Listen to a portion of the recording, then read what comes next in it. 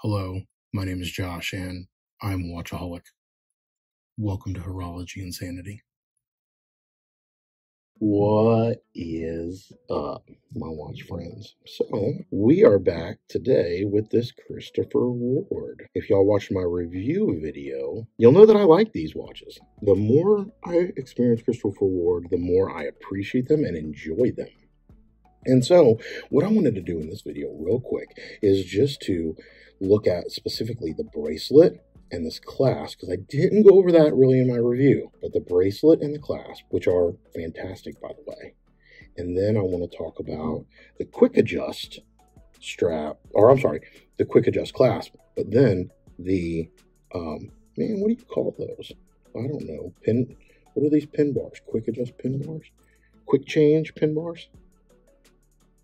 Hmm, my mind is drawing a complete and total blank. So I have had my coffee today. I'm actually sipping on a decaf coffee now because I only allow myself to have one caffeinated coffee per day. But whatever these things are called, put it down in the comments. Tell me. I, am going to be like, you're going to mention it, and I'm going to go, oh yeah, oh yeah, that's what it's called. Yeah. Okay. So check this out. This bracelet, you can see it's kind of an oyster style bracelet.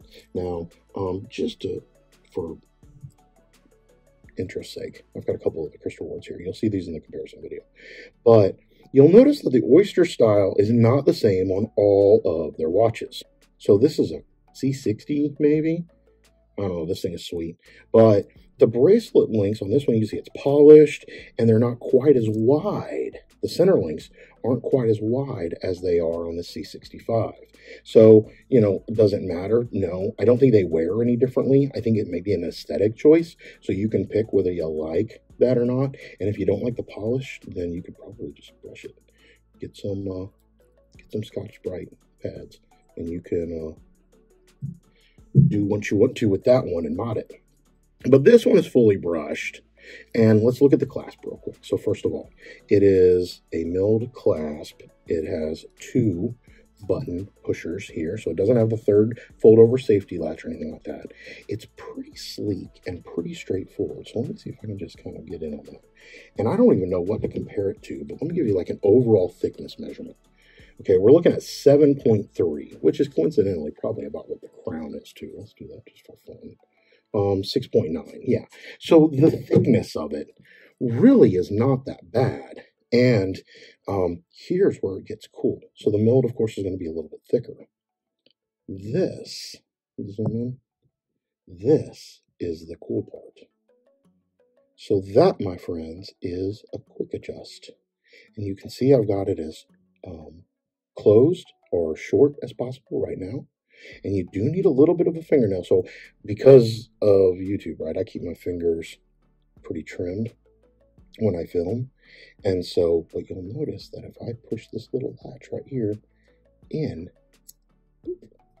I can get several, it's got several adjust points on here. It probably gives me four or five millimeters of adjustment on the fly. See, they're about midway. And so for all of y'all whose uh, wrists swell, which it's interesting. I don't know if women's wrists swell as much as men's. I have a buddy of mine whose wife's in the hobby, and he says her wrists don't change like like his do. And so, but my wrist, man, when I get up in the morning, I need to have this joker all the way out because my wrists are swollen in the morning.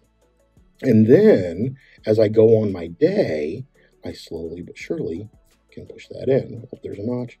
And notice you don't have to push that in to I'm sorry, you don't have to press the button, the adjust button, to be able to push it in. You can't pull it out, though, without that. So that's the mechanism. You push that in, and then you can pull it back out. And I know that when I get my thumb on that, it's hard to it's hard to see me actually depressing that. But this little button right here will push over here to the right. And uh, yeah, it's pretty straightforward. And I'm going to be honest with you, it's pretty sweet because this clasp is really no thicker than it would be otherwise. Now, if y'all know about the glide lock system, Rolex, um, a bunch of other companies are using it. Ginault bracelets use it. A bunch of, you know, your Pagani designs and some other AliExpress variants try to use it. But it has a system where it doesn't have a button like this. It'll snap and open up and then you can slide it around. But in fact, you know, I've got a Ginault bracelet. One sec, we're going to pause this. I will be right back. And I'm back. So, I had a sip of my coffee too, by the way, in full disclosure. But this is the Ginault Glide Lock. Janot, Janot, I don't know how you pronounce that, but this is the Ginault Glide Lock bracelet. And this thing is sweet. I'm not going to lie to y'all. Like this thing, it's hefty, but it is sweet. So this has the fold over clasp, just like kind of the Rolex does. Then you got to get up into that. There you go. It'll fold out. But this right here is the piece that I was talking about. When you want to adjust this, you just lift it up, and you slide it in, and you pop it down. Now, I think this bracelet might give you a little bit more range of adjustment. Don't quote me on that. I don't know from a millimeters perspective how much room, see that's all the way closed, how I don't know how much room this gives me, but I'm willing to bet this thing probably gives you a man, five to seven mil. You can see I'm sliding that quite a ways. Let's look at the clasp real quick and take a measurement. Let's see, right? If it goes from like there to there, right? Oh man, that's giving me like 12 mil. There's no way that that thing is 12 mils adjustment. Okay, it might. You can see where I'm just trying to measure where the pins might fall on the adjustment scale. So that's a lot.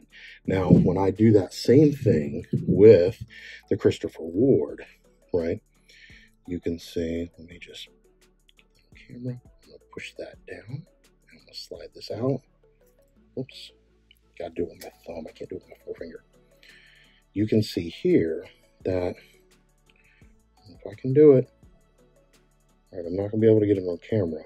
You see I've got probably about that much room afloat and well, it says nine mil, but there's no way that gives me nine mil. I'm thinking both of those measurements. I think that it's probably doesn't equate to the actual length of the bracelet. But let's get these closed and then compare the height.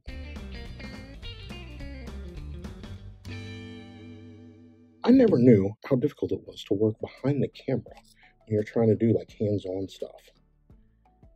So this overall measurement is 7.3. So it's actually not as thick as maybe I thought. Okay, that's interesting. 7.5, there's no way. 7.0. That might be about right. Okay, so one, I think it depends on where you grab it. But I will say that when, let me zoom out, when you put these kind of next to each other, the glide lock definitely, definitely wears thicker than the Christopher and so that's just that's just me. I don't know if it's because they're covering up some of the insert, right, where the fold over bars come in. But um, I will say that the the Rolex style has a better taper to it. This Ginault bracelet is is less wide. You can see that right there. But anyway, so you can see the two types of system. Now there's a third type of system, and I've got some some other bracelets that do it where you flip it, and then on this end down here, instead of being just it just has a pop tab, and it'll it's an extension. It'll give you a two, three mil maybe. Um, so that does work. I have those mostly on my Chinese specials, like my Pagani design, and I find that they are really, really hard to pop out and pop back in. And so I think that might loosen up over time, but they're definitely not as nice, as easy to use, or as functional as this system or the Glidelock system. So that's my two cents on that. Now, let's also talk about real quick the quick release spring bar tools. Oh, that's what it's called. See, when I just let my brain do what it does, it'll come up with it. But they are starting to put, see if I can zoom in on these, they're starting to put quick release bars in bracelets now. And so if you're familiar with it, you used to have to get a spring bar tool. This is an old fashioned one.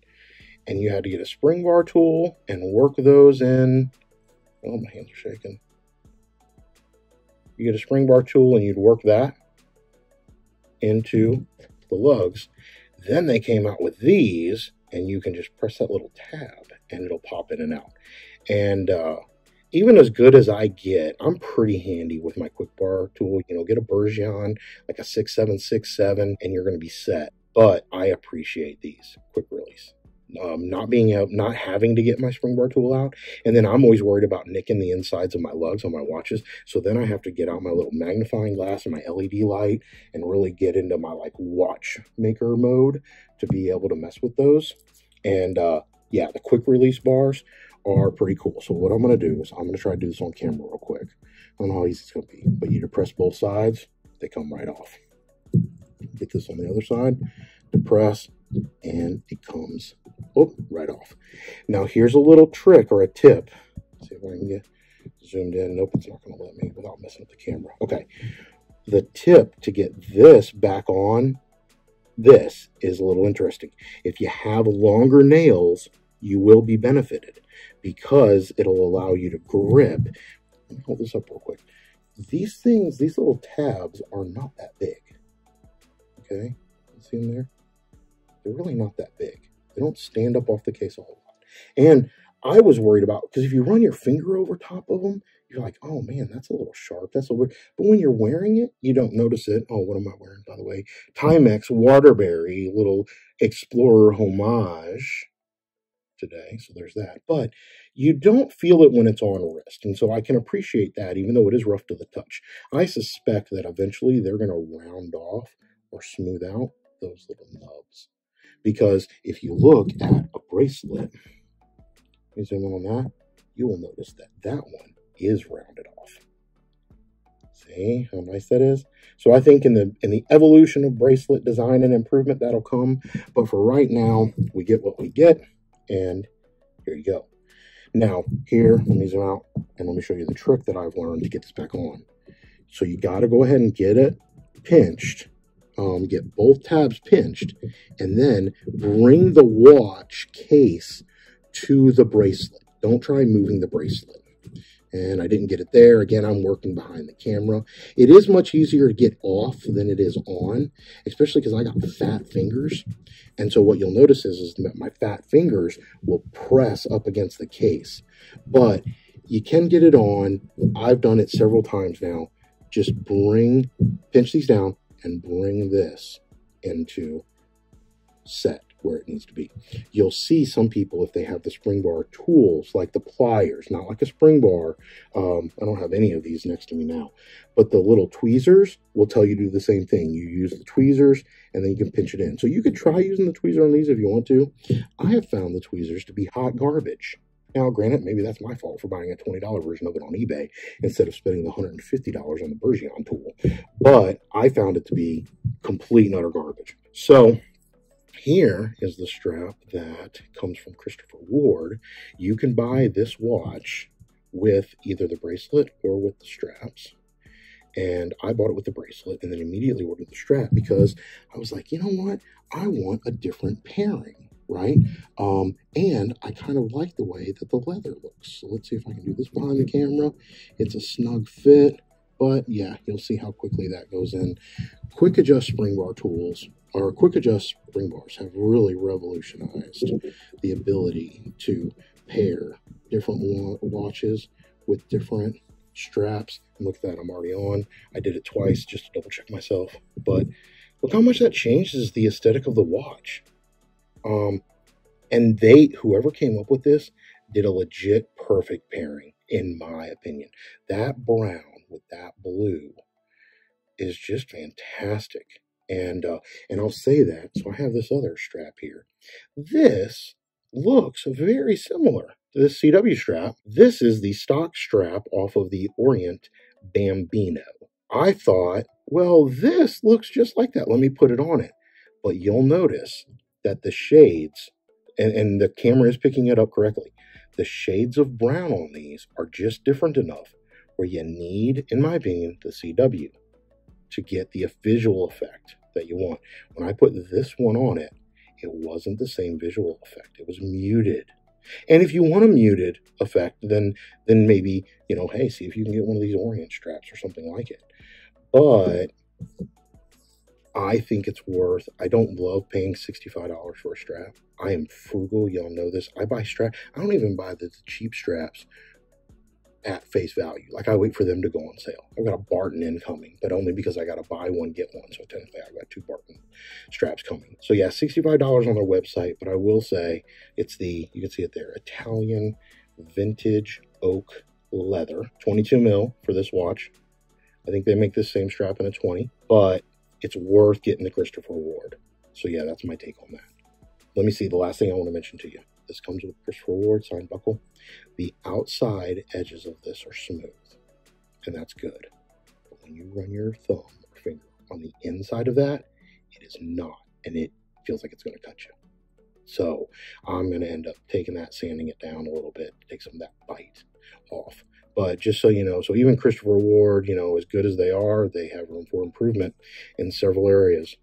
But anyway, that's it. We've got the quick adjust strap. We've got this. We compared it to the Ginault with the slide lock, and we're out.